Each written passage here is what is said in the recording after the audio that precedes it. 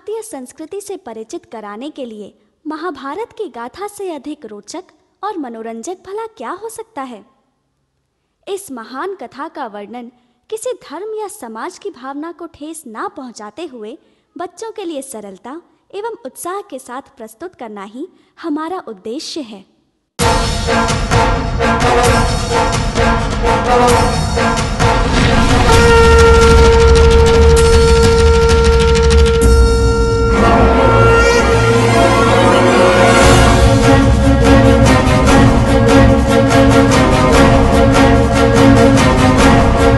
We'll be right back.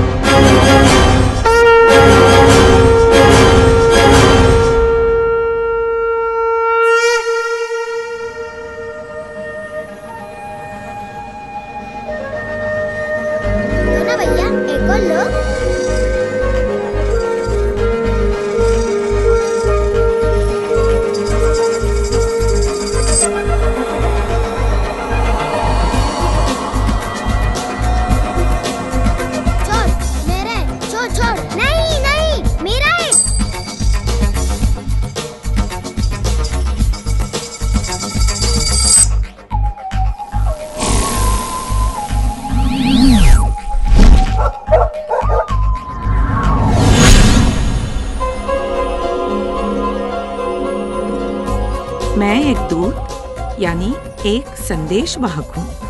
दूत। हाँ। संदेश वाहक? कौन सा संदेश? और कैसा संदेश? किसके लिए? संदेश है सारी मानव जाति के लिए। और सारी सृष्टि में जितने जीव हैं उन सब के लिए भी। हम्म, पर कैसा संदेश? बताती हूँ। तुम दोनों भाई हो? हाँ। आपस में तुम्हारा भाईचारा है? हाँ। फिर आप क्यों झगड़ रहे थे? क्योंकि मन में लालच और ईर्ष्या की भावना जाग उठी। किस लिए? एक सोने के सिक्के के लिए? यही मेरा संदेश है जो मैं तुम्हें देना चाहती हूँ एक युग की बात बताकर। उस युग और उन महान वीरों की कहानी सुनोगे तो तुम खुद समझ जाओगे। कहानी कहानी। हाँ मैं संदेश की बात कर रही हूँ और तुम्हें सिर्फ़ कहानी सुननी है। ठीक है तो लो सुनो। सुनो सुनाऊं एक कहानी एक कहानी बहुत पुरानी। दादी माँ जो हमें सुनाती युगों युगों की बात बताती। अच्छा तो फिर तुम ही बताओ कैसे सुनाओ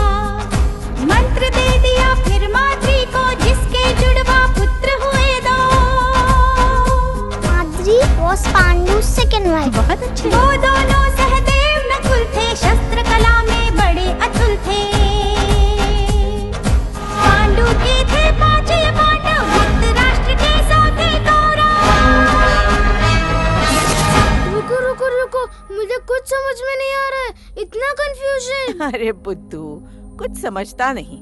रुक मैं समझाती हूँ। एक थे राजा पांडु। उनकी थी दो पत्नियाँ। एक थी कुंती एक थी माद्री। कुंती के तीन पुत्र युधिष्ठिर भीम अर्जुन। माद्री के दो पुत्र नकुल सहदेव। अब समझ आया? पांडु के भाई जो देख नहीं सकते थे धृतराष्ट्र। उनकी पत्नी गांधारी। उनके सौ पुत्र, वो थे कौरव, और कौरव में सबसे बड़ा दुर्योधन। अब समझा? नो कंफ्यूजन के थे पांडव धृतराष्ट्र के सौ कौरव। साथ थे, साथ बढ़े थे के शिष्य बने थे।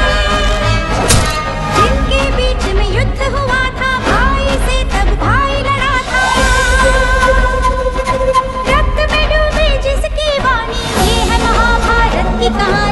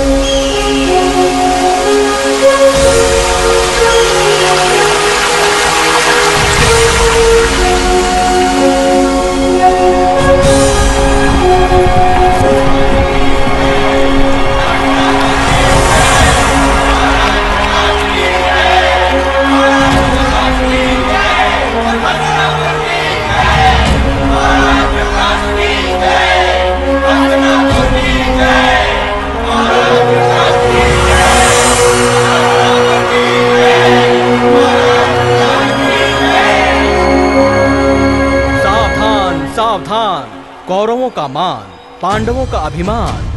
पूज्य श्री गंगा पुत्र भीष्म पितामह पधार रहे हैं। पूज्य श्री भीष्म पितामह की पूज्य श्री भीष्म पितामह की पूज्य श्री भीष्म पितामह की पूज्य श्री भीष्म पितामह की सज्जनों मेरे लिए ये गौरव का अवसर है कि अब मेरे कौरव और पांडव कुशल योद्धा बन गए हैं। और आज वो अपने गुरु द्रोणाचार्य की आज्ञा से अपनी शस्त्र विद्या का प्रदर्शन करेंगे। सबसे पहले गदा युद्ध होगा।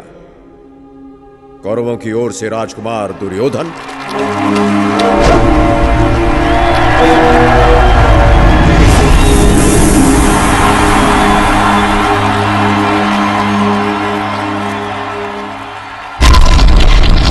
और पांडवों की ओर से राजकुमार भीमसेन।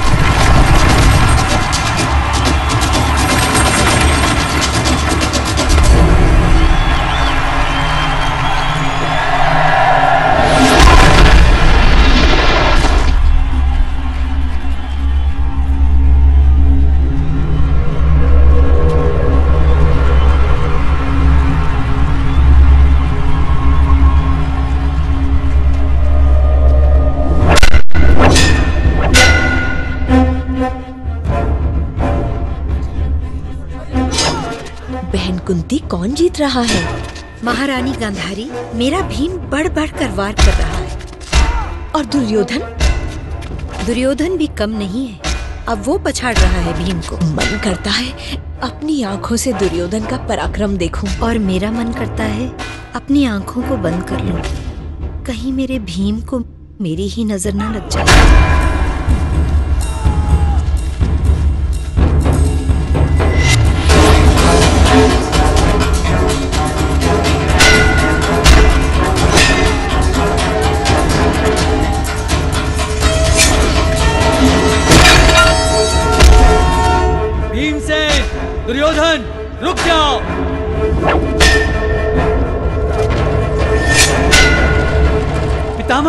पितामह की रोकिए। दुर्योधन भीमसेन। दुर्योधन और भीमसेन की हार जीत का निर्णय कम से कम आज असंभव है। अब मैं पांडव अर्जुन को आमंत्रित करता हूँ।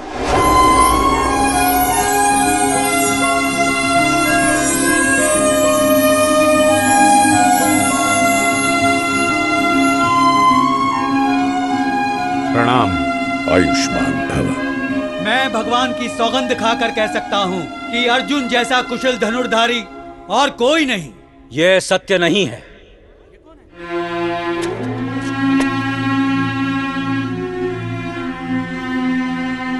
क्षमा करें गुरुजी आप अनजाने में ईश्वर की झूठी सौगंध ले रहे हैं। मुझे अपना कौशल दिखाने का एक अवसर दिया जाए। मामा श्री ये अर्जुन की टक्कर का है। बाकी सब माया है माया। हाँ हाँ दुशासन। भांजे। हाँ मामा श्री। भांजे तेरे शकुनी मामा को लगता है कि ये जीता जागता पासा तो भगवान ने तुम्हारे लिए फेंका है। आपका संकेत समझ गया मामा श्री। तुम्हें अर्जुन से बड़ा धनुर्धारी होने का गुमान है। पहले ये तो बताओ तुम हो कौन? मैं कर्ण हूँ। कर्ण कौन? ये सारथी अधिरथ का पुत्र है। अधिरथ का पुत्र? एक साधारण सारथी पुत्र के साथ मैं मुकाबला नहीं कर सकता।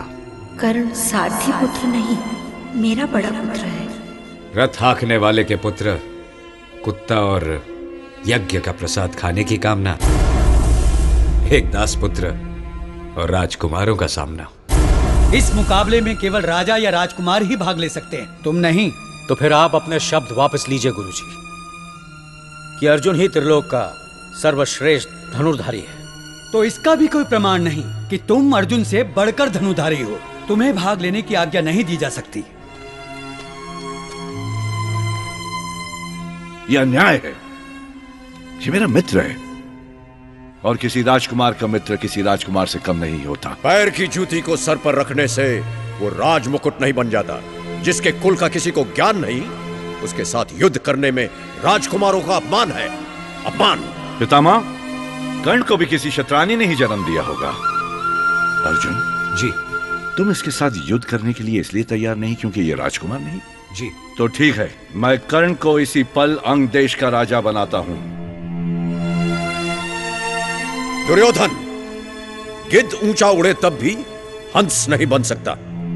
ये राजा बनकर भी सूत पुत्र ही रहेगा। पितामह कर्ण का भाग्य मैंने तय कर दिया है। राजा सर झुका के नहीं, सर उठा के जीते हैं।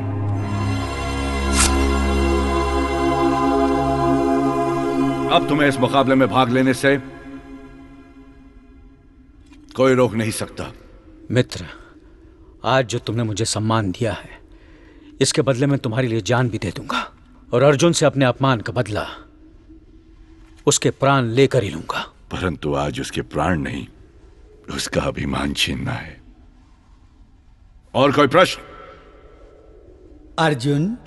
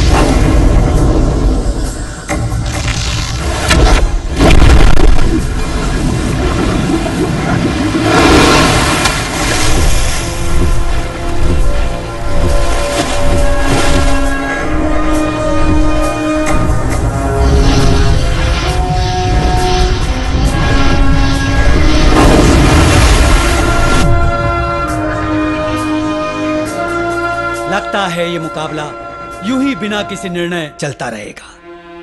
इसलिए अर्जुन और कर्ण दोनों की बराबर होने की घोषणा की जाती है। पितामह। सज्जनों, हस्तिनापुर का इतिहास सब जानते हैं।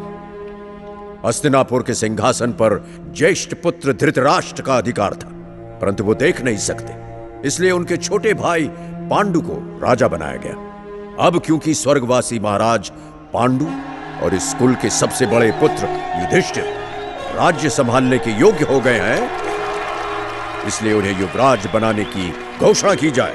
मैं ताऊ जी की इच्छा का सदा आदर करता हूँ। प्रधानमंत्री विदुर जी मेरी ओर से युधिष्ठिर को युवराज बनाने की घोषणा करें। पासा तो उल्टा पड़ गया।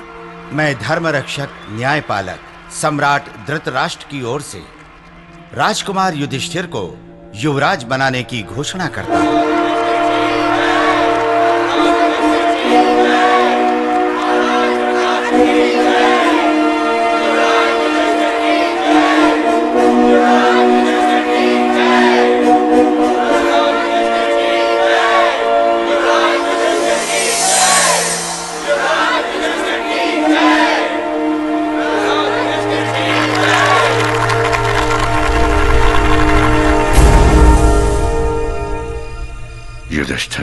अधिकार पर डाका डाला है। पहले हमारा सिंहासन काका पांडु ने पिताजी से और अब उनके पुत्र ने मुझसे छीना है। पितामह और विदुर जैसे पांडु प्रेमियों के होते हुए और किया भी क्या जा सकता था? किया क्यों नहीं जा सकता? जी तो चाहता है कि सारे राज्य को आग लगाकर भस्म कर दूँ। भस्म करना ही है तो पांडवों को करो। क्या? मामाश्री फेंकिए कोई ऐसा पासा? कि सांप भी मरे और लाठी भी ना टूटे। मामा के भांजे, मेरे पासे भी पांडवों को भस्म करने की भविष्यवाणी कर रहे हैं। समझे?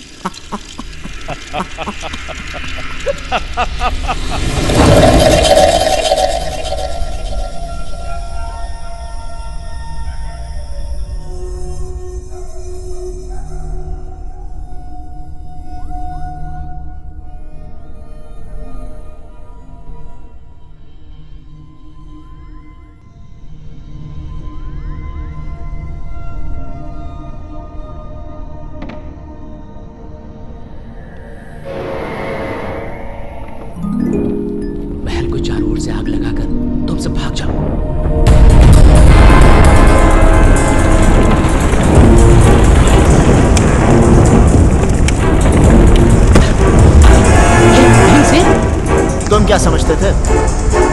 चिताओं को आग लगाकर सुरक्षित भाग जाओगे। परंतु आपको किसने बताया? कायर दुर्योधन और शकुन की चालों को हम पहले से ही जानते थे। तुम सब उनके पाप के भागी हो। अब दंड भोगो। मृत्यु दंड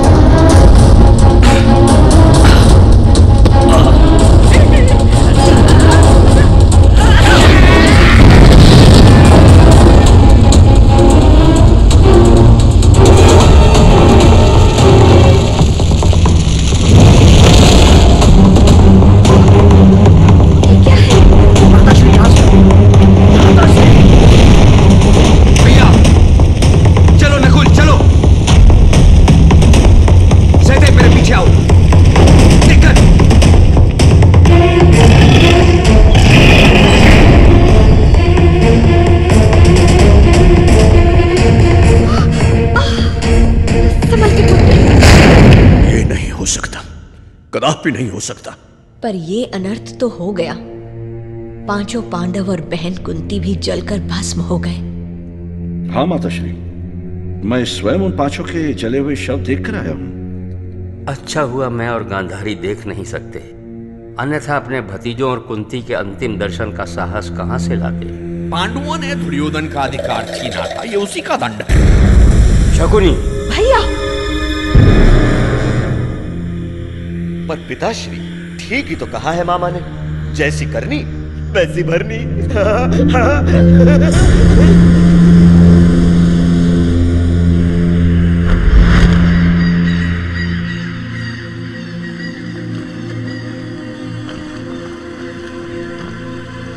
पांडव अभी तक बाहर क्यों नहीं आए? धुएँ और अंधेरे में सुरंग से निकलना इतना आसान नहीं।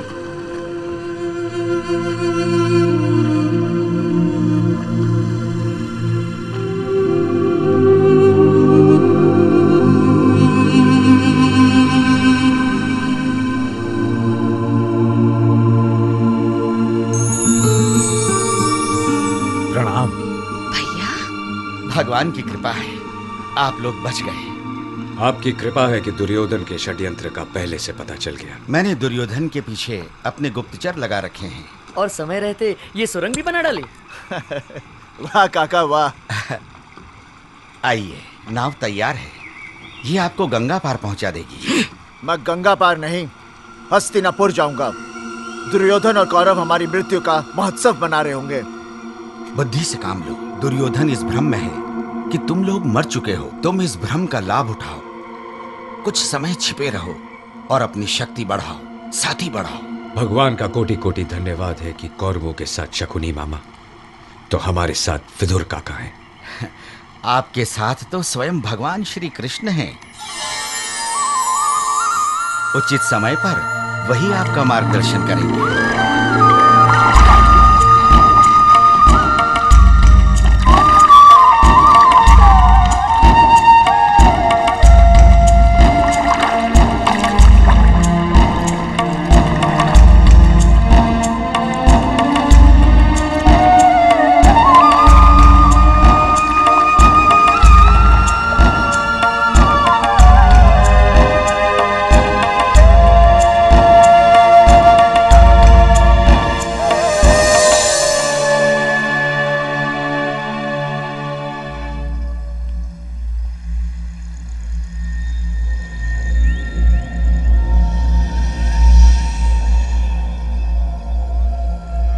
रात बिताने के लिए ये जगह ठीक है।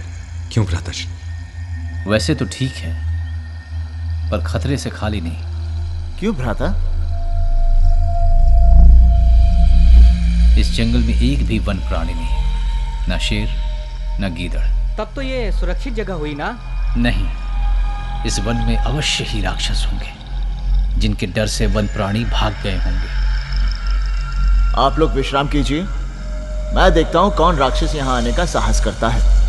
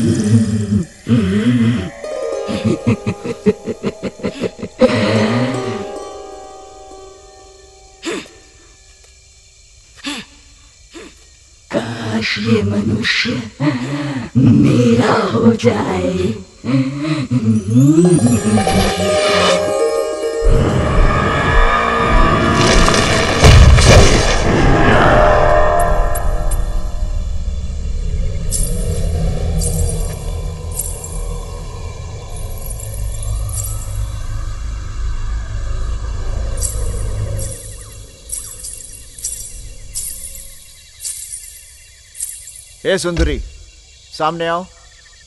नहीं तो मैं इस पेड़ को ही गिरा दूँगा।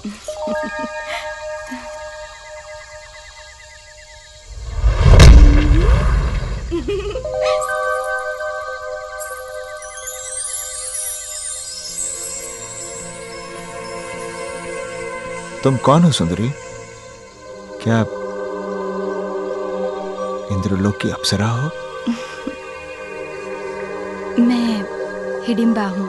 और तुम कौन हो? मैं पांडु पुत्र भीमसेन। वहाँ पीछे मेरा परिवार विश्राम कर रहा है। मिल जा मिल जा जल्दी मिल जा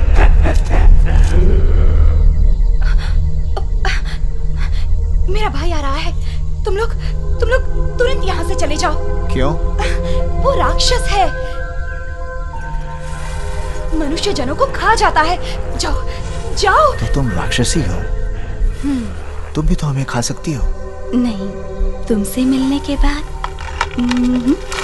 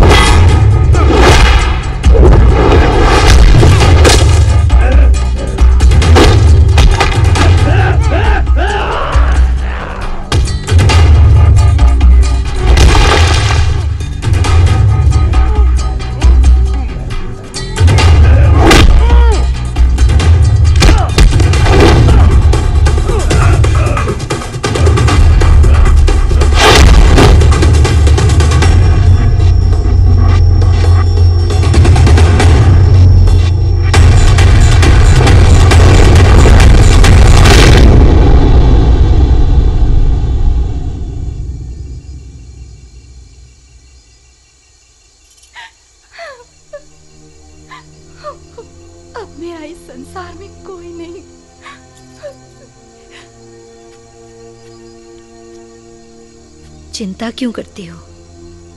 हम हैं ना? मैं मैं आपकी क्या लगती हूँ? तुमने हम सब के प्राण बचाने का प्रयत्न किया है। इसके बदले में जो मांगोगी देंगे। मुझे इनके चरणों की दासी बना दें। मैं इनसे प्रेम करने लगी हूँ। क्यों नहीं? तुम्हारा क्या विचार है भीम? परंतु ये राक्षसी है। शरीर से ये भले ही राक्षसी हो मन से ये मानव है। भीम प्रेम ही तो मानव को मानव बनाता है।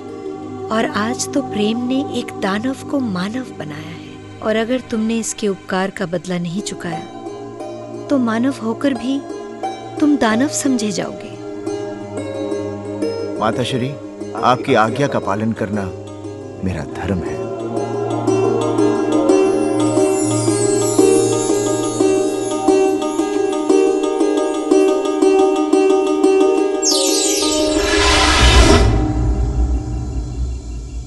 खूब बनाई जोड़ी भगवान। तुम्हारा उपकार तो बड़ा महँगा पड़ा।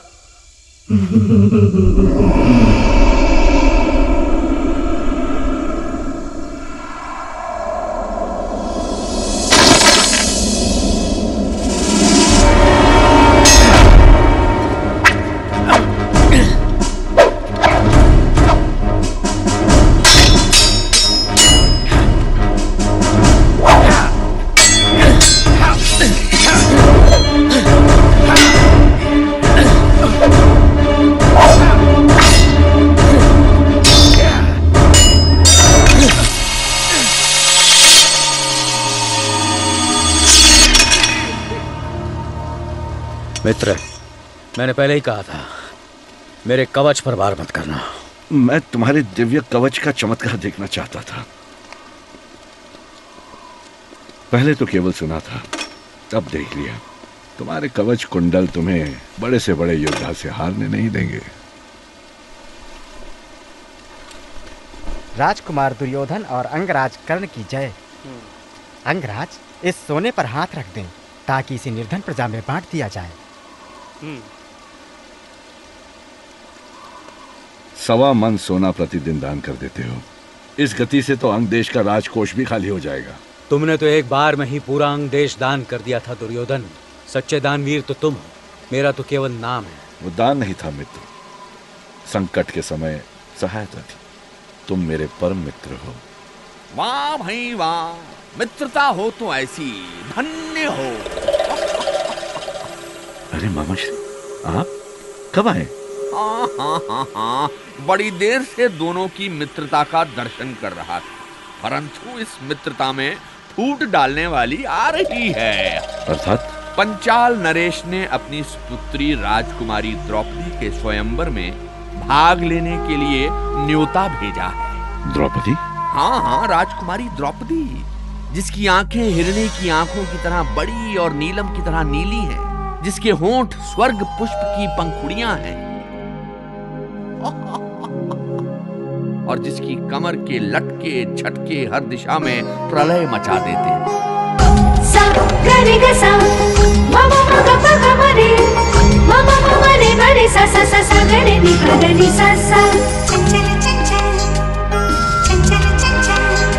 एक नवेली देखी है।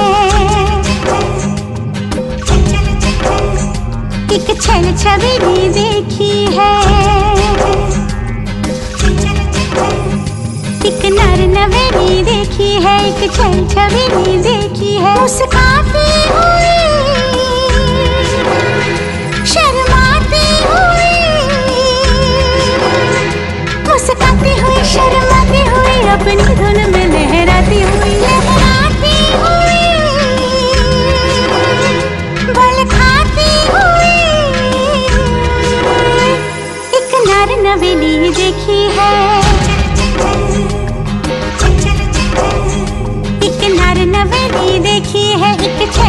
छबीली देखी है।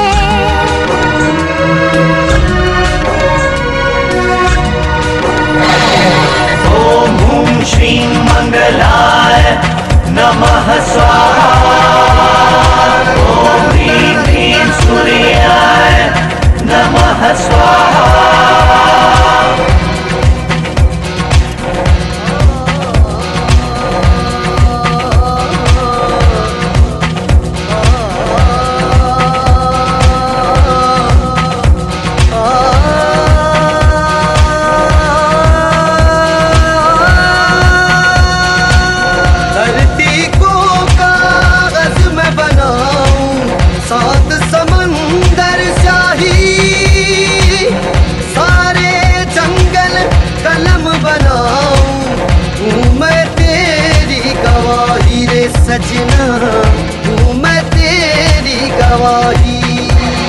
तेरा रूप लिखा नहीं जाए, सजना रूप लिखा नहीं जाए।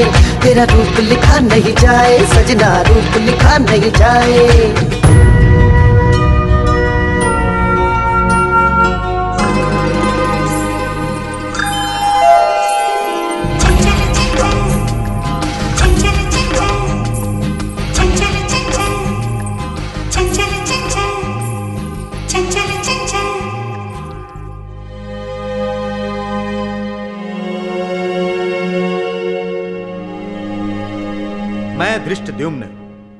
अपनी बहन राजकुमारी द्रौपदी की इच्छा और महाराज द्रुपद की आज्ञा से यह घोषणा करता हूँ कि जो भी वीर इस तेल कुंड में मछली की परछाई को देखकर उस मछली की आँख को बाण से निशाना बनाएगा, राजकुमारी द्रौपदी उस वीर को वरमाला पहनाएगी।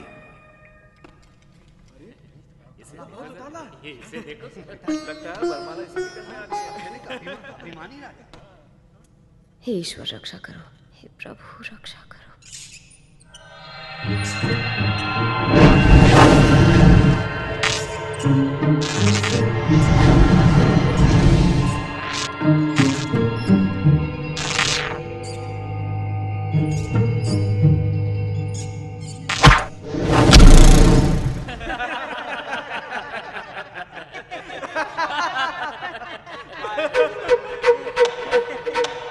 राजकुमार दुर्योधन।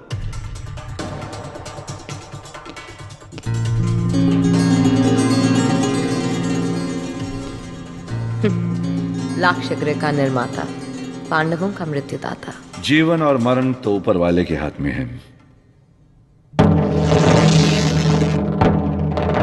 ईश्वर रक्षा करो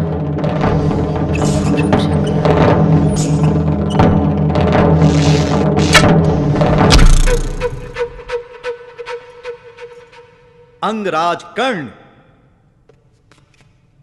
भैया इनसे कह दें कि ये स्वयंवर में भाग नहीं ले सकते। ये सारथी पुत्र हैं। ये दानवीर है। इससे बड़ा दानवीर और कोई नहीं। जो भीख में राज सिंहासन स्वीकार कर ले वो दानवीर कैसा? ना ही ये दानवीर है न राजपुत्र। राजकुमारी तुम्हारी जीप बिच्छू का डंक है। चलो कर।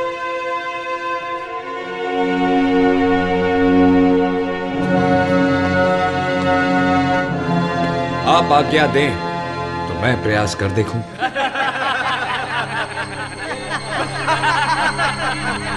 हे ब्राह्मण देवता यह तुम्हारा नहीं हम क्षत्रियों का काम है।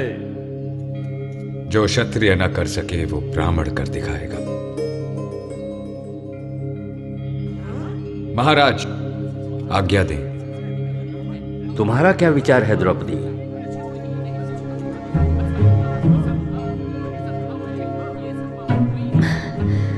मुझे कोई आपत्ति नहीं ये नहीं हो सकता ये क्षत्रियो का अपमान है देखते क्या हो उठा लो द्रौपदी को मुझे इस नागिन का फन कुचलना है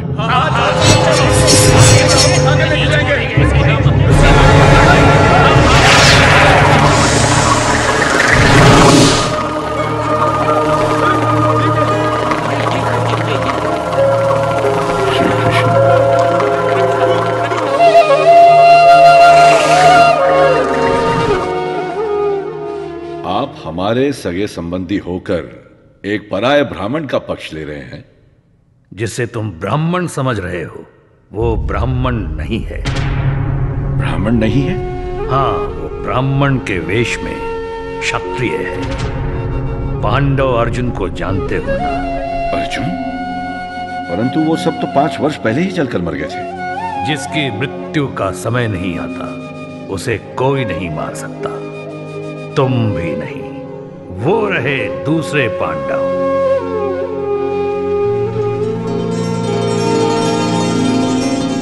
अब पांडु राज सिंहासन पर फिर अपना अधिकार जताएँगे। इस स्वयंवर में भाग लेने के लिए अर्जुन को मैंने ही कहा था। अर्जुन अवश्य ही जीतेगा।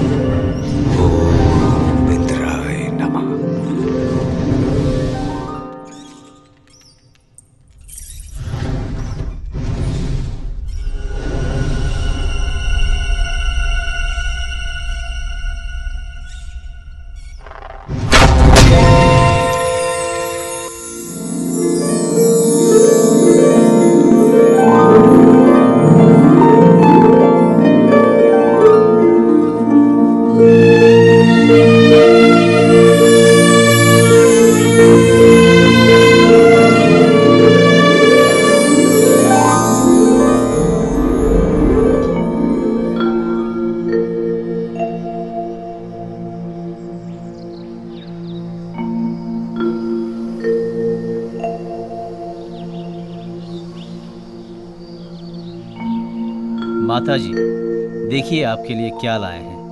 हम्म मुझे क्या दिखाते हो? हमेशा की तरह आपस में बांट लो। माता श्री कौन? ये आपने कैसी आज्ञा दे दी ये द्रौपदी है आपकी बहू। अर्जुन ने इसे स्वयंवर में जीता है। हे राम ये मैंने बिना देखे अपने पुत्रों को कैसी आज्ञा दे दी? आपकी आज्ञा का पालन अब हमारा कर्तव्य है। नहीं नहीं ये नहीं हो सकता। पुत्रों मैं अपने शब्द वापस लेती हूँ। इसकी कोई आवश्यकता नहीं हुआ। शब्द आपके मुँह से वेद बाणी बनकर निकले हैं। वेद बाणी? हाँ द्रौपदी को शिव जी का आशीर्वाद है जो आपके मुख से सत्य हो गया। ये कैसा आशीर्वाद है भगवान? पिछले जन्म में तुमने शिव जी की आराधना की थी। और शिव जी ने प्रकट होकर पूछा था क्या वरदान चाहिए? पति दे पति दे पति दे पति दे पति दे। तुम्हारे मुँह से पाँच बार निकला था। भोलेनाथ ने तथास्तु कह दिया और कहा कि तुमने पाँच बार पति मांगे हैं। अगले जन्म में पाँच पति प्राप्त होंगे। परंतु ये कैसे हो सकता है? ये तो अब होना ही है। शिव जी के वरदान और विधि के विधान को नकारा नहीं जा सकता। द्रौपदी अब पाँचों पांडवों की पत्नी है। माता श्री अब आप निश्चिंत हो जाइए। ये तो सचमुच विधि का ही लिखा है। युधिष्ठिर? हाँ मुरलीधर। द्रौपदी ने तुम्हारे लिए अपना राजमहल छोड़ा है। अब तुम सबका ये कर्तव्य है कि इसे फिर राजमहल में ले जाओ। इतने वर्षों में तुमने दिव्य शस्त्र भी प्राप्त कर लिए और शक्तिशाली राजाओं को भी अपने साथ कर लिया है। अब समय आ गया है कि हस्तिनापुर जाकर तुम अपना अधिकार मांग लो। जो आ गया, प्रभु।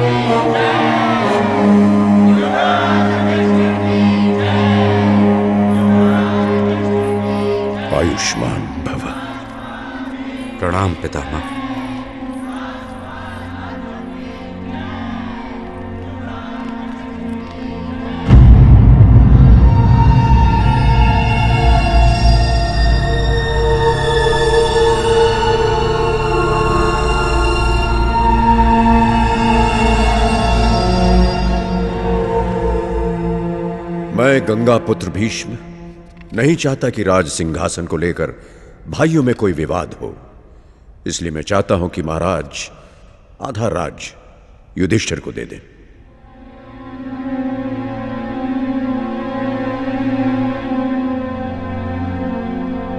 पितामह का यह प्रस्ताव मैं स्वीकार करता हूँ। हमें भी आधा राज्य स्वीकार है। नए राज्य की नई राजधानी भी होगी। मेरे विचार से खांडव पृष्ठ को पांडव अपनी राजधानी बना ले, क्योंकि खांडव पृष्ठ हस्तिनापुर का स्वर्ग है, स्वर्ग।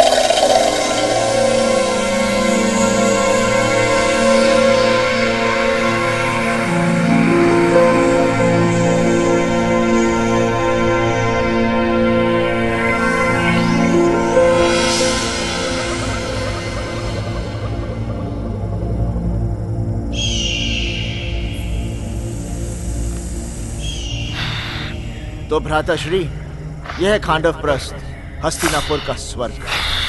क्या हमें फिर से इन सांपों और बिच्छुओं के बीच रहना होगा? पाँच वर्षों तक जंगल में भटकने के बाद हमें फिर जंगल में फेंक दिया गया। अब बनाओ इस जंगल को राजधानी। शांत गदाधारी शांत। हम इस वन को अवश्य ही स्वर्ग बनाएँगे। अर्जुन इंद्रदेव की कृपा सदा तुम पर रही है। तुम उनकी उपासना करो। जो आज्ञा। ओम इंद्राय नमः ओम इंद्राय नमः ओम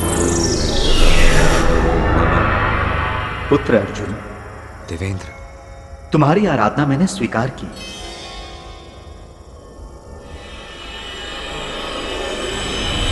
प्रणाम। हे विश्वकर्मा। आज्ञा देवराज खांडो प्रस्थ को स्वर्ग का दर्पण बना दो। जो हज्ञ इंद्रदेव, ओम नमः शंभवे च, मयो भवे च, नमः शंकराय च, मयस्कराय च, नमः शिवाय च, शिवतराय च, ओम ब्रह्मदेवाय नमः।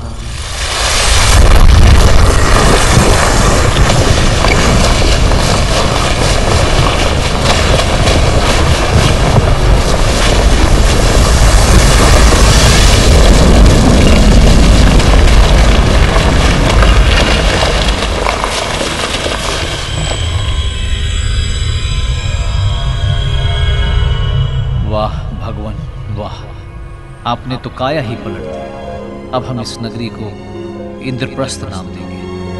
आयुष्मान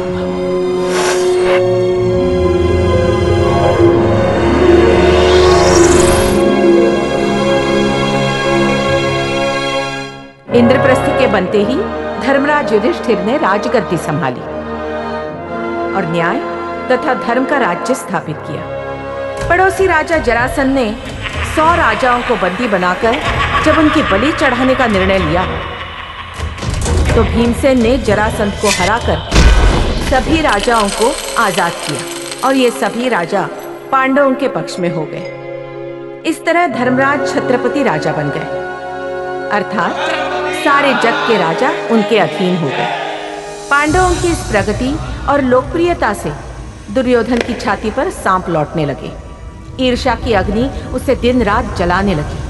उसके मन की आग उस समय और भी भड़क उठी, जब अर्जुन ने कृष्ण और बलराम की बहन और अपनी प्रेमिका सुभद्रा से बलराम की इच्छा विरुद्ध विवाह किया।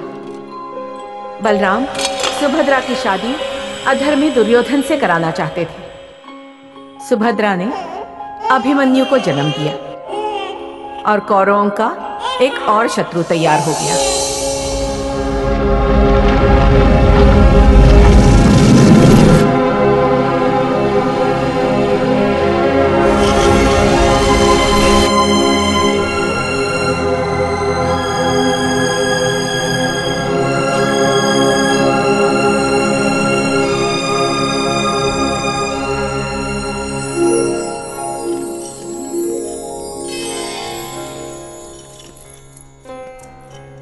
प्रिय तुम ऐसे ही बहुत सुंदर हो। तुम्हें श्रृंगार की क्या आवश्यकता?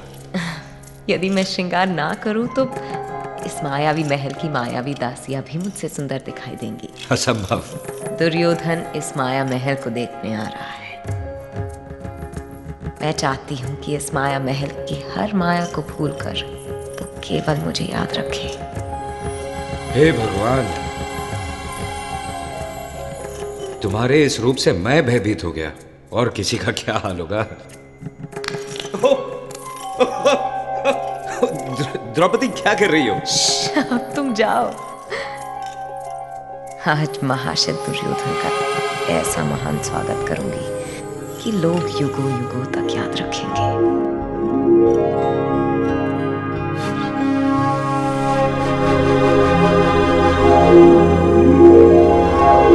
भाई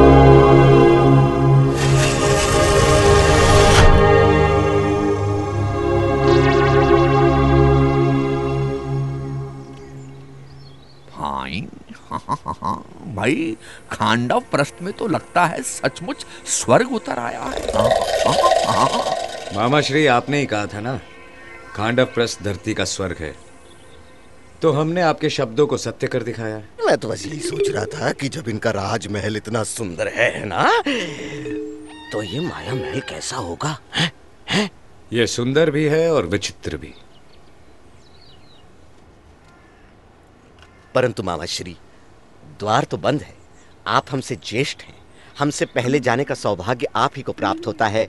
जाएँ और हम छोटों को राह दिखाएँ।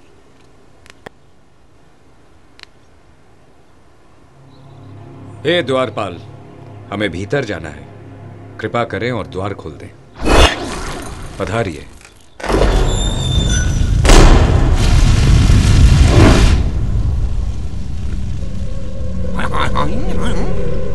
दुर्योधन कहीं हमसे जले हुए महल का बदला तो नहीं लिया जा रहा है। बाबा श्री, ये वो वाला महल नहीं है, ये माया महल है।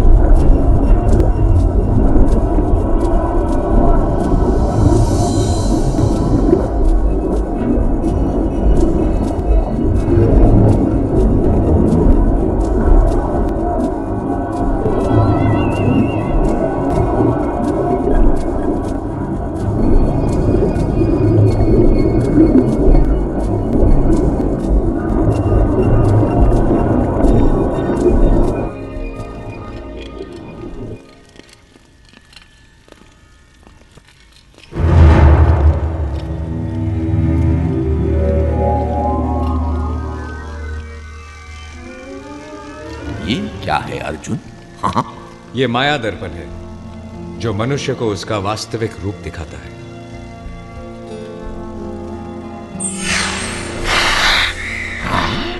मैं सांप हूँ।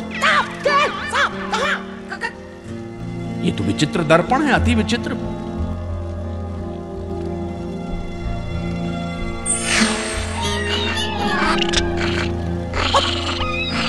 ये क्या? ये मैं मैं मैं मैं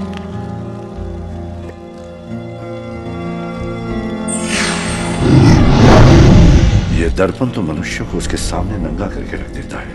नंगे तो दिखाई देंगे ही वन्य प्राणी कपड़े जो नहीं पहनते जैसे कि दूसरों के अधिकार पर झपटने वाला भेड़िया दिखाई देता है। कहीं तुम्हें यह सब तो नहीं दिखाई देता?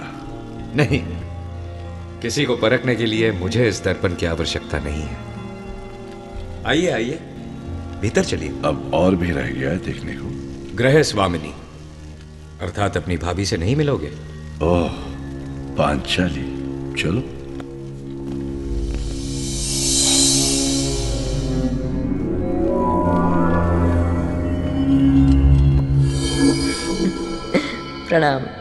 देवर जी प्रणाम मामा श्री। पाँच पाँच द्रौपदियाँ इस माया में सच्ची काया कौन सी है? मैं यहाँ हूँ देवर जी पांचाली तुम्हारे रूप का माया जाल किसी को भी अपनी ओर आकर्षित कर सकता है।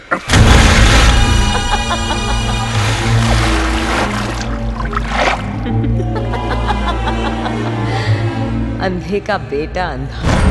पांचाली। पांचाली। तुमने हमारा अपमान करके अच्छा नहीं किया।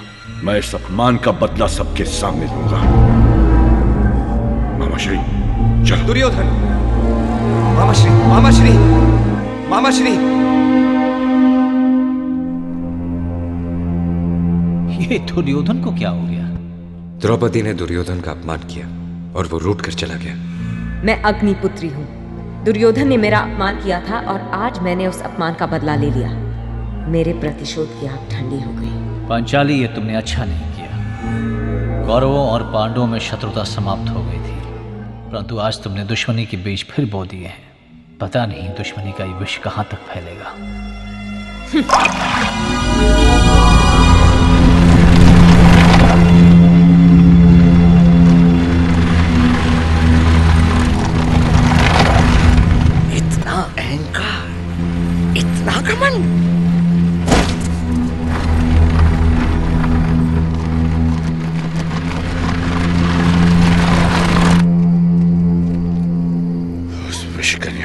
डंक नहीं मारा। नागिन बनकर ढसा है। नागिन बनकर ढसा है। नागिन को वश में करने का मन तुमसे आता है सेवधन। खींच लाता हूँ उसे पांडवों के चंगुल से। पाँच पति भोग रही है। छठा मैं बन जाता हूँ। मैं तो कल ही उसे उठवा लूँगा। ना भांजे ना शक्ति से नहीं बुद्धि से काम लो। अपने शत्रु की दुर्बलता का लाभ उठाओ कौन सी दुर्बलता केवल एक धर्मराज युधिष्ठिर को जुआ खेलने की बुरी लत है समझे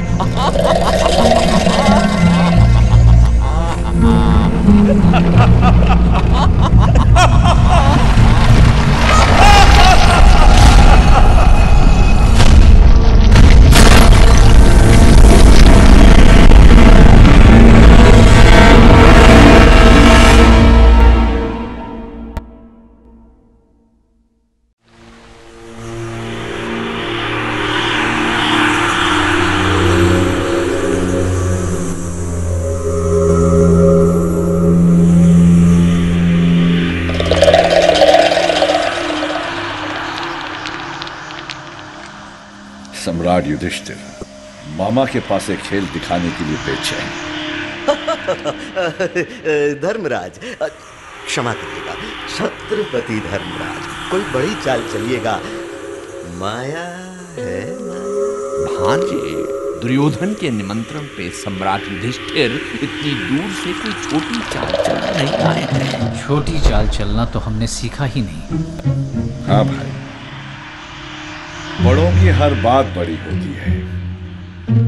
लगता है आज ये अपने राज्य को भी दांव पर लगा देंगे। क्यों धर्मराज? कोई शंका है तुम्हें?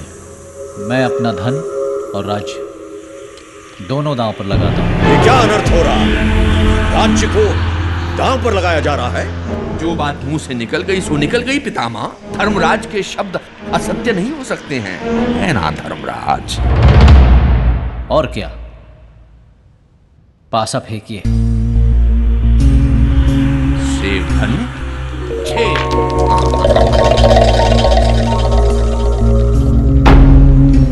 मामा की जय। हम जीत गए। अब तुम पाँचों मेरे दास हो गए हो। धर्मराज उतारो ये राजमुकुट।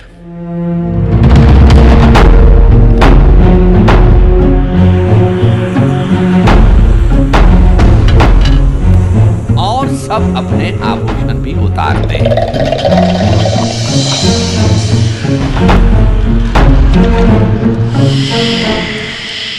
एक बाजी और हो जाए तो मैं दोनों राज्य दाव पे लगाने के लिए तैयार हूँ।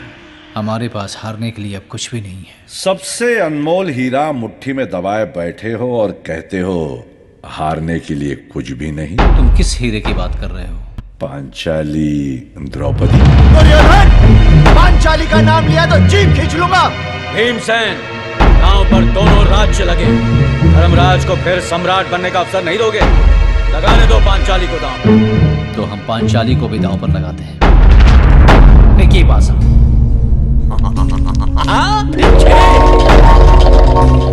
फिर मामा की जय। पांचाली को भी जीत गए। अब बस। अभी अंतिम दाव तो बाकी है, भांजे। इस बार जो हारेगा, वो तेरह वर्ष के वनवास पर जाएगा। और अंतिम वर्ष में अज्ञातवास में रहेगा। यदि तेरहवें वर्ष में जीतने वाले ने हारने वाले को देख लिया या ढूंढ लिया तो फिर से बारह वर्ष का वनवास और एक वर्ष का अज्ञातवास। बोलो। कैसा लगा? सही है ना? स्वीकार है। पासा फेंकिए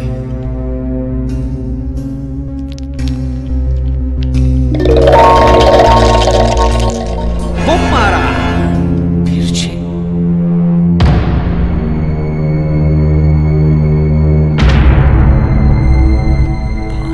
मैंने कहा था ना? हम फिर जीत गए। दुशासन जी श्री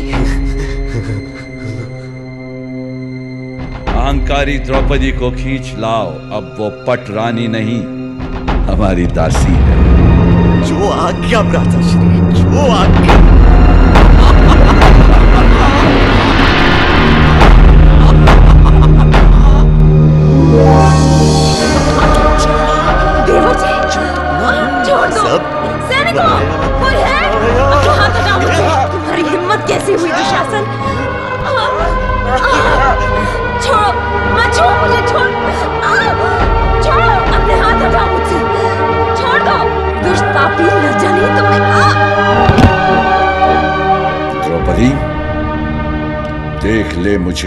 अंधे का बेटा कहने का परिणाम। ये क्या तमाशा है देवर जी? देवर नहीं स्वामी कहो तुम हमारी दासी हो। धर्मराज से हमने तुम्हें जुए में जीता है। धर्मराज तुम्हें मुझे दांव पर लगाने का क्या अधिकार था? तुम पाँचों कर्मवीरों के अभिमान को क्या हुआ? ये दास बन गए हैं दास और तुम मेरी दासी। मेरी आज्ञा का पालन करो। सारे वस्त्र उतार कर मेरी जंगा पर बैठ जाओ। तुम एक पतिव्रता स्त्री का अपमान कर रहे हो दुर्योधन। दूसरों का अपमान करने वाली आज स्वयं के अपमान करो ना रो रही है। पितामह आप अपनी कुलवधु का अपमान कैसे सह सकते हैं? गुरुदेव आपके बाण क्या केवल निर्दोष पक्षी और मछली की आँख को ही भेद ना जानते हैं? उन आँखों को नहीं भेदते जो एक स्त्री की मर्यादा को छेदते हैं।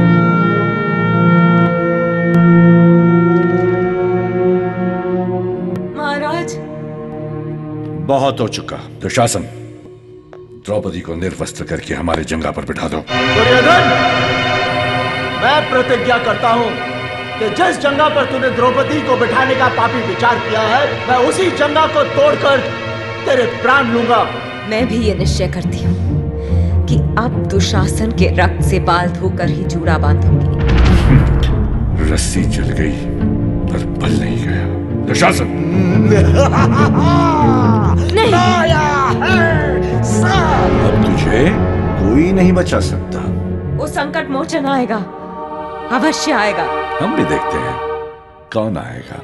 वही जिसने सती सीता को रावण से बचाया था वही जिसने गदा से कंस को नीचा दिखाया था।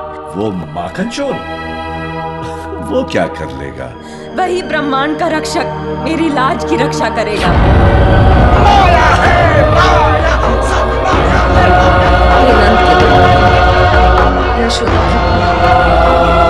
महाराज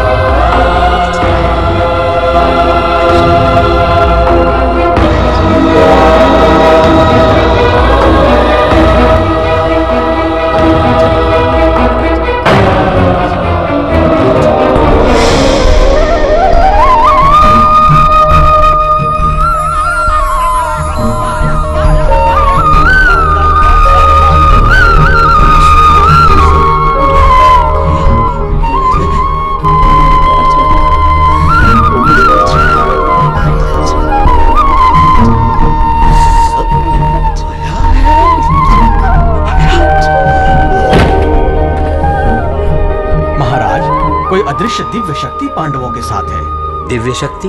वो अवश्य ही कृष्ण होंगे। तब तो मुझे अपने पुत्रों के पाप का प्रायश्चित करना होगा।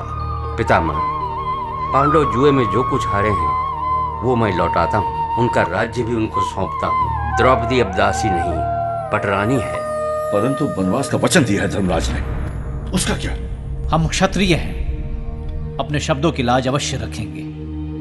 वैसे भी मेरे कारण द्रौपदी का जो अपमान हुआ है उसका प्राश्चित करने के लिए हमें वनवास भोगना ही होगा। मैं भी वनवास भोगूँगी। और मेरे खुले बाल इन सबको मेरे अपमान की याद दिलाते रहेंगे।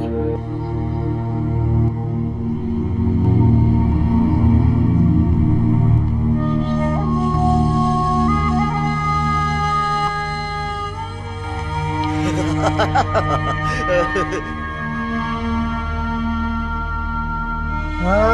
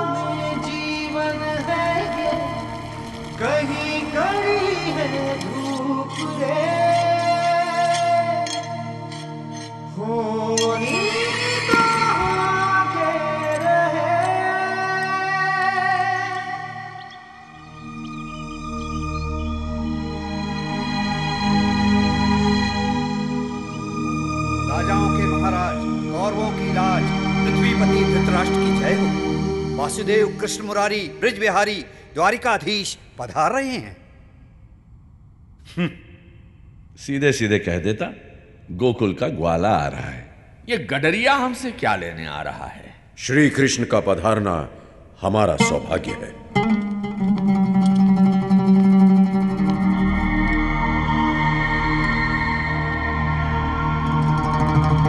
कल्याण भवा। मैं पांडवों की ओर से शांति दूत बनकर आया हूँ।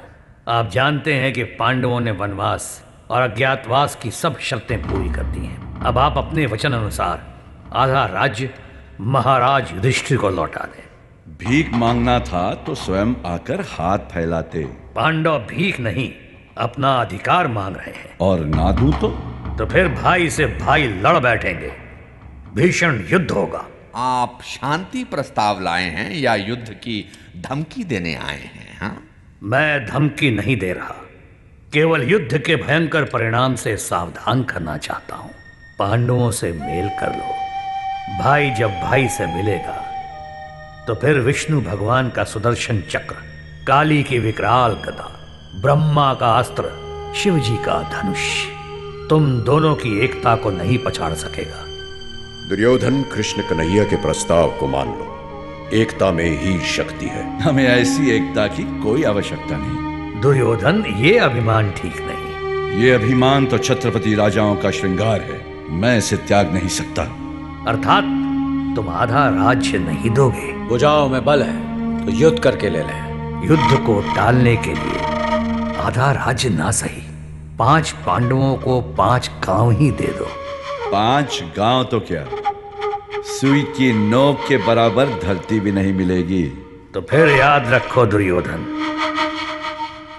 तेरह वर्षों में पांडवों ने देवताओं से जो शस्त्र और वरदान पाए केवल उन्हीं के बल से पांडव समस्त गौरव मंडल को नष्ट कर सकते हैं। तुम सब नष्ट हो जाओ।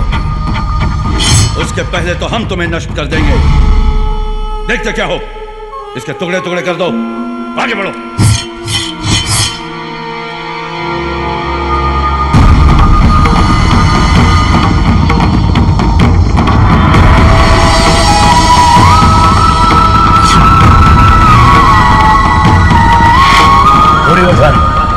यदि कौरवों के विरुद्ध कभी हथियार न उठाने की प्रतिज्ञा ना की होती तो आज अपने सुदर्शन चक्र से तुम्हारे सरों का ढेर लगा देता।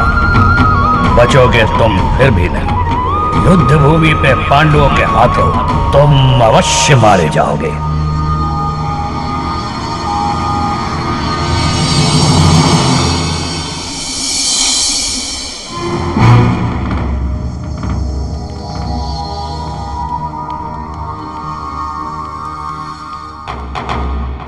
शांति दूत बनकर आए और युद्ध की धमकी देकर चले गए।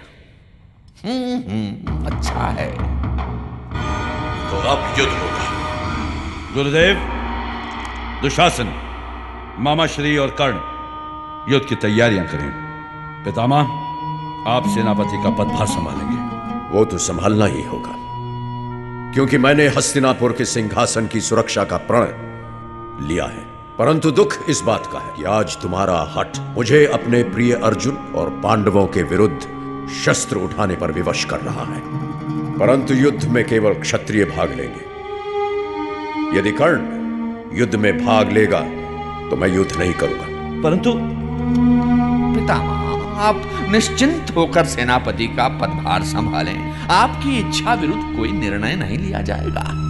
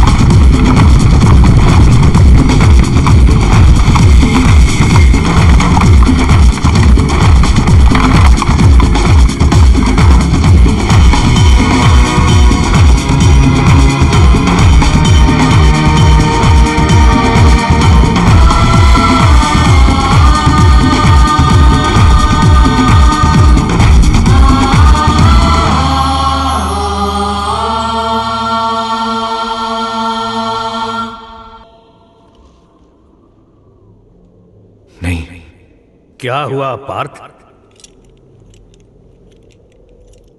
अर्जुन अर्जुन तुम विचलित क्यों हो गए? बताओ कुंती कुमार क्या बात है? मैं ये युद्ध नहीं लड़ सकता। नहीं लड़ सकता मैं। ये तुम क्या कह रहे हो? क्यों नहीं लड़ सकते?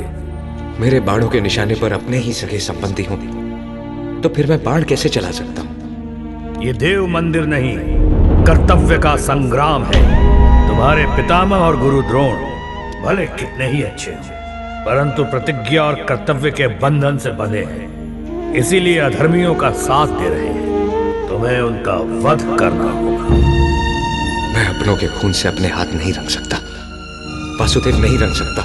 तुम उन्हें नहीं मारोगे तो वो तुम्हें मार देंगे। यदि तुम धर्म का राज्य स्थापित नहीं करोगे तो अधर्म का राज होगा। जिन कौरवों ने द्रौपदी का वस्त्र हरण करना चाहा था, वही पापी हाथ तुम्हारी माँ बहनों को सबके सामने निर्वस्त्र कर सकते हैं। इसलिए युद्ध करो।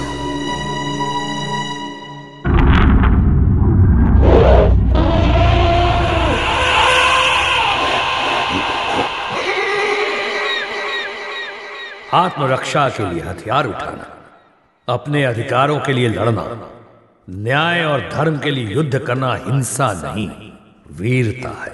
अर्जुन, तू किसी के मरने का दुख मत कर। नैनम छिंदंती शस्त्राणी।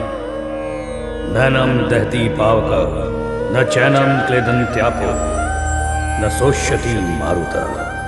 सुन अर्जुन, न आत्मा मरती है, न मार सकती है, ना अग्नि इसे जला सकती है, ना जल इसे डुबा सकता है। जिस तरह मनुष्य पुराने कपड़े उतार कर नए कपड़े पहनता है उसी प्रकार आत्मा नए शरीर में प्रवेश करने के लिए पुराने शरीर को छोड़ देती है। शरीर नश्वर है आत्मा अमर है। परंतु अज्ञानवश मैं आज तक आत्मा को नाश होने वाली वस्तु ही समझता रहा हूँ। मैं तुझे समझाता हूँ मेरा विराट रूप देख।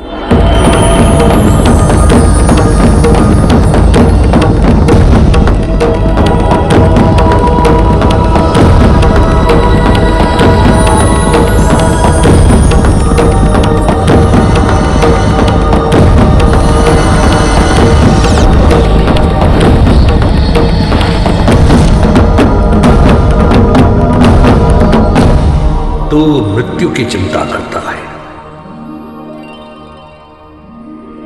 देख, मैं ही सबका मृत्युदाता हूँ। और मैं ही सबका जन्मदाता हूँ। बता, क्या अब भी तेरे अज्ञान का नाश नहीं हुआ? बस प्रभु, बस। आपका तेज और सहन नहीं कर सकता। मैं तो अज्ञानवश आपको केवल बंसी बजाइया ही समझता रहा। परंतु आपसे बढ़कर कोई देवता नहीं। आपसे ही जीवन है और आपसे ही मृत्यु तो ठीक है, वत्स। तू अब समस्त शंकाओं को त्याग कर मेरी शरण में आ और मेरी आज्ञा का पालन कर।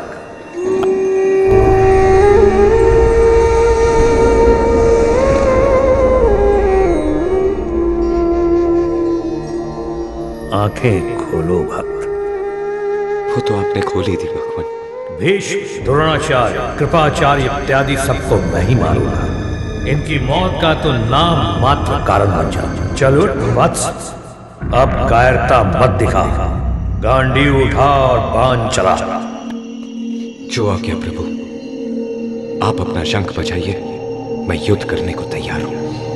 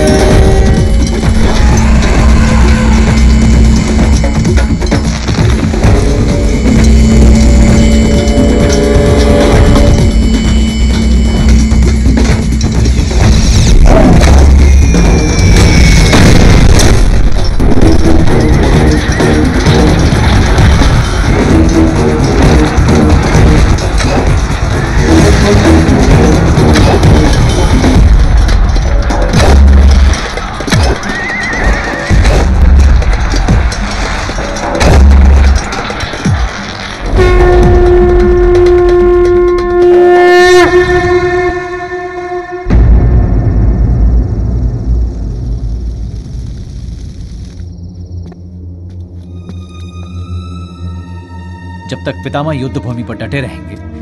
हमारी जीत असंभव है। तो फिर क्या करें? उन्हें तो इच्छा मृत्यु का वरदान प्राप्त है। हाँ परंतु उनकी छाती को अनगिनत तीरों से छेद कर उन्हें धराशायी तो किया जा सकता है। असंभव। शक्ति नहीं बुद्धि से काम लेना चाहिए। बुद्धि या युक्ति से? तुम नहीं समझोगे। पितामह को धराशायी करने का कार्य तुम लोग अर्जुन और मुझ पे छोड़ दो। कल पितामह अवश्य ही अपना धनुष नीचे करने पे विवश होंगे।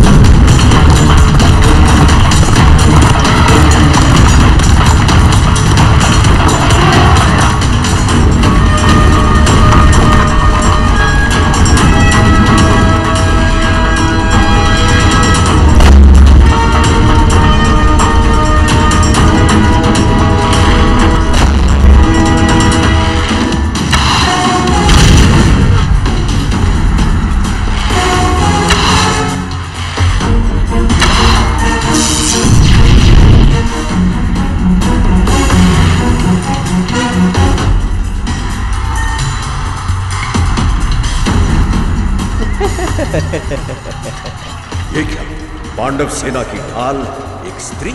पितामह चलाइए बाण।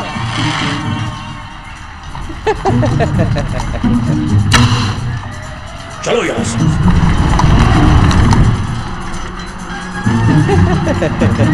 हे कृष्ण ये अवश्य ही आपकी चाल है। युद्ध भूमि पर ये ये कैसा रास रचा रहे हो? अर्जुन मैंने कहा था। अर्जुन शिखंडी है पुरुष किंतु पितामह उसे स्त्री मानते हैं इसलिए उस पे बाण नहीं चलाएँगे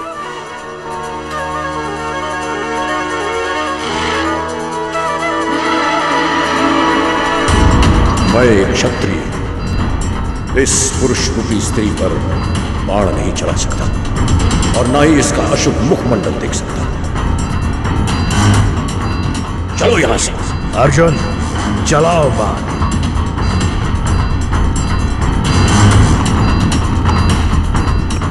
पर, पर वासुदेव। बाण चलाओ अर्जुन। अर्जुन बाण चलाओ। इससे अच्छा अवसर नहीं मिलेगा ठीक है। मुझे क्षमा कर दीजिए पिता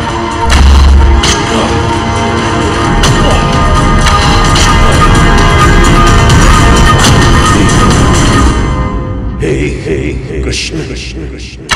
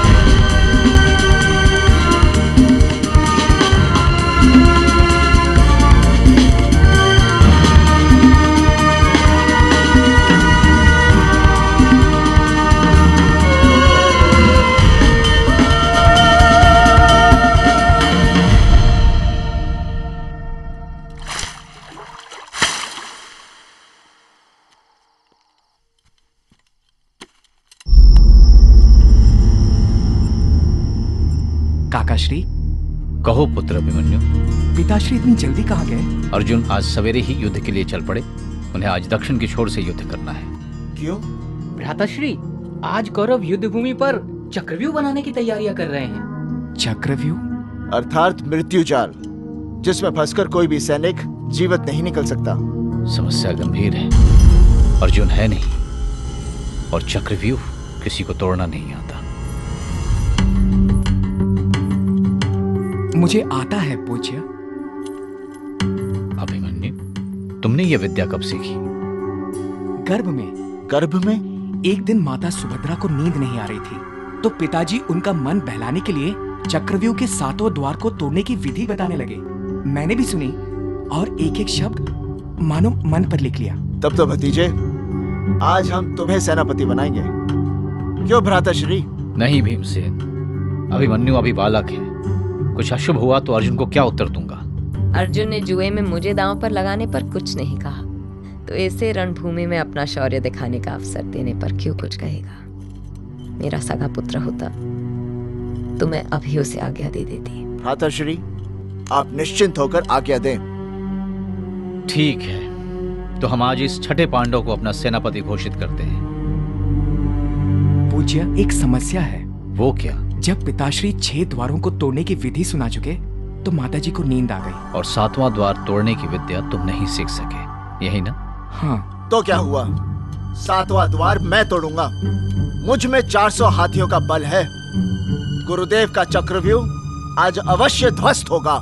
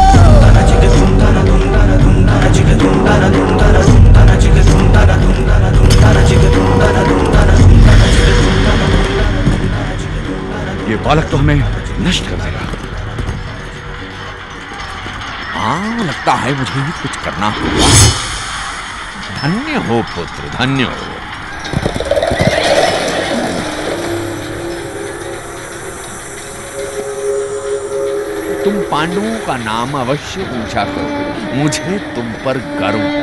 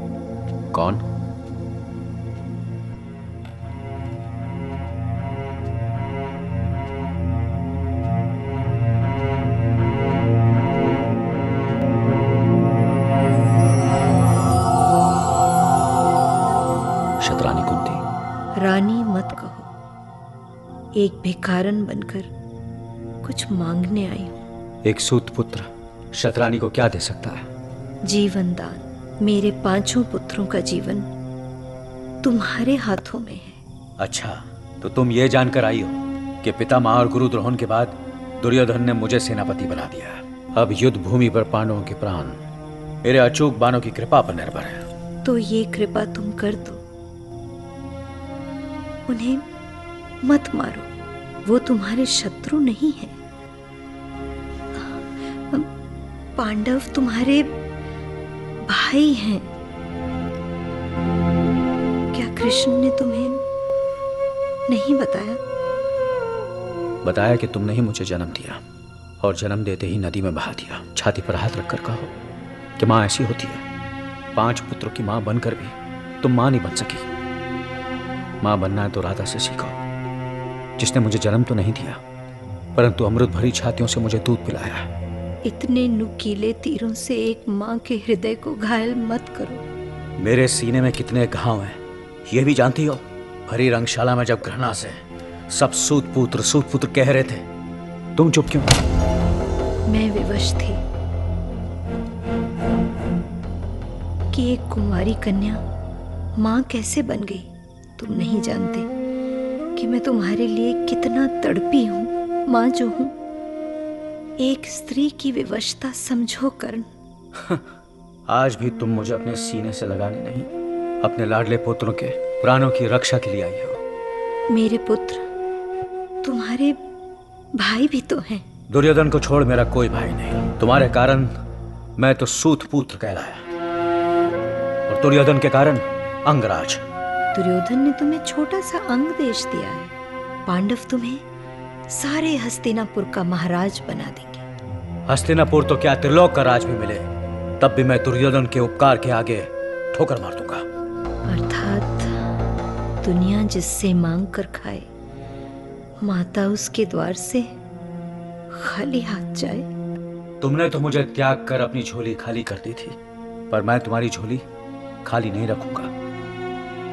माँ से पहले मैंने बाप की झोली भी थोड़ी देर पहले भरी है। बाप की झोली? हाँ अर्जुन के पिता इंद्रदेव। अपने पुत्र की सुरक्षा के लिए मुझसे मेरा कवच और कुंडल मांग कर लेते हैं। वो समझते हैं मेरे पास कवच और कुंडल ना होंगे। तो अर्जुन मेरा वध कर सकेगा। पुत्र ये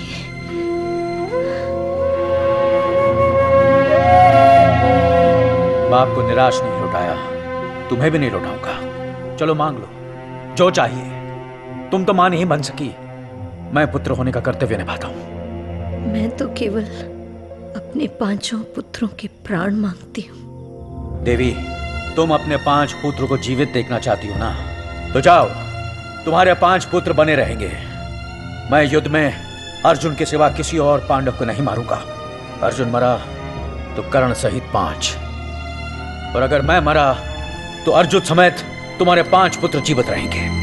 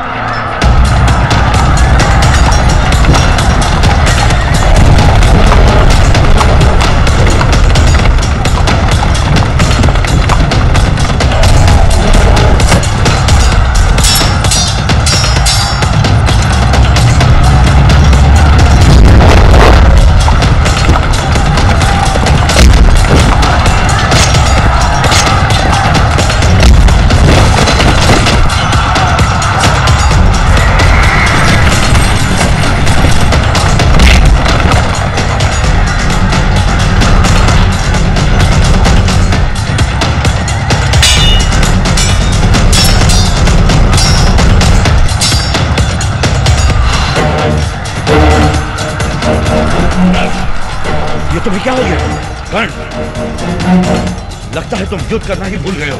तुम ऐसा क्यों कह रहे हो? एक के बाद एक नकुल सहदेव युधिष्ठिर यहाँ तक के भीम तुम्हारे बाणों के निशाने पर है। मगर तुम्हारे मार नहीं सके? बताओ कर्ण बताओ कर्ण इसका क्या कारण है? क्या कारण है कर्ण? मैं तो केवल केवल अपने पाँचों पाँचों के प्राण मारती हूँ।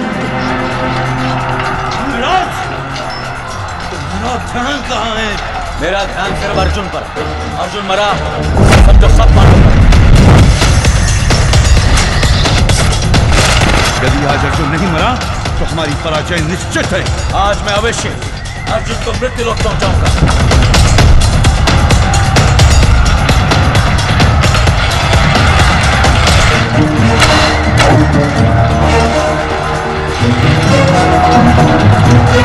अर्जुन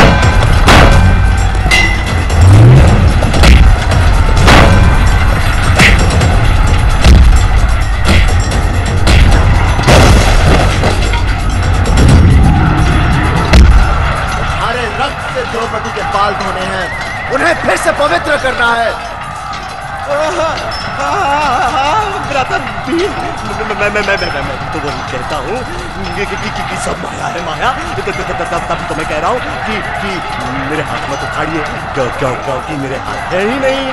क्योंकि सब माया है माया तो जब है ही नहीं तो क्या?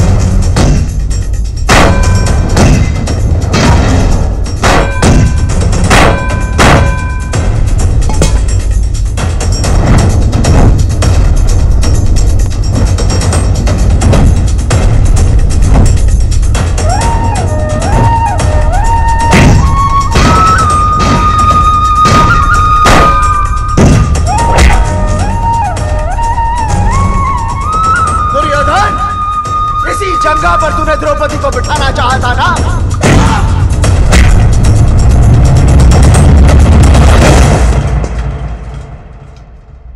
अस्तिनापुर मेरा है। अब कोई पापी अधर्मी जीवित नहीं रहा। परंतु प्रभु ये युद्ध हम जीत कर भी हार गए। सब अपनों को ही खोया है हमने।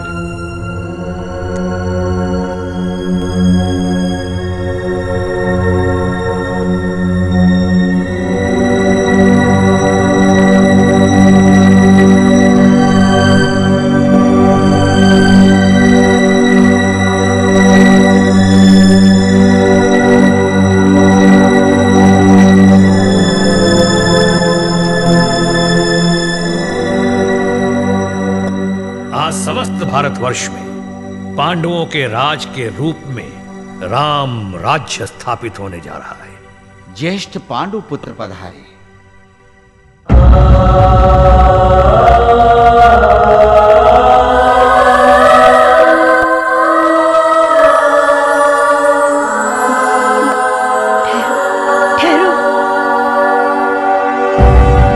इस इस राज तिलक से पहले मैं वो कलंक का टीका मिटा देना चाहती हूँ जो मेरे ज्येष्ठ पुत्र के माथे पर लगा है।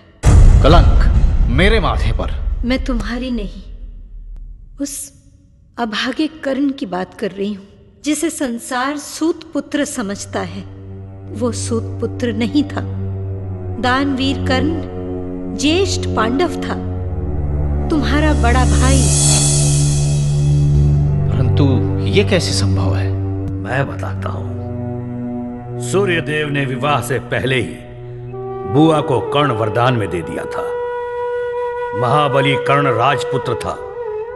इस पे भी उसका बार बार अपमान होता रहा और बुआ कुंती ये सब सहती रही और कर्ण को जब सच का पता चला तो उसने तुम पाँचों को ना मारने की, अपनी माता की इच्छा पूरी करने के लिए तुम्हें तो छोड़ दिया, परंतु अपने प्राणों का बलिदान दे दिया। आज यदि कर्ण जीवित होता तो इस सिंहासन पर उसी का अधिकार होता। भ्राता श्री कर्ण यदि लौटने वाले होते तो मैं उनके खड़ाऊ राजगद्दी पर रखकर उनके नाम से राज करता। काश आप अधर्मियों के साथ ना होते तो मैं आपको मारने के बजाय आप पर अपने प्राण निछावर कर देता। मैं दानवीर कर्ण की परंपरा अनुसार प्रतिदिन उनके नाम से सवा मन सोना राजकोष से दान करूँगा। मेरे कर्ण के माथे से कलंक का टीका मिट गया। अब आप राज तिलक करें।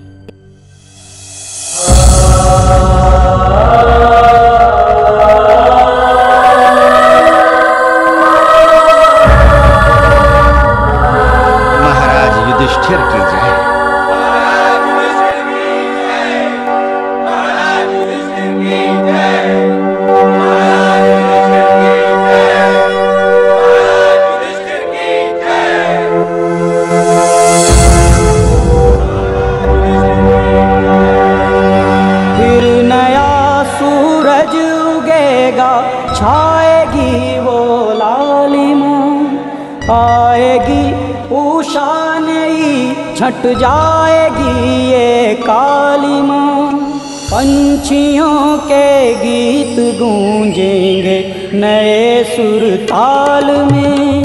फिर नए मोती सजेंगे इस समय के भाल में। सभ्यता के देश में होली दिवाली आएगी। हर गली आँगन में आशा की किरण लहराएगी।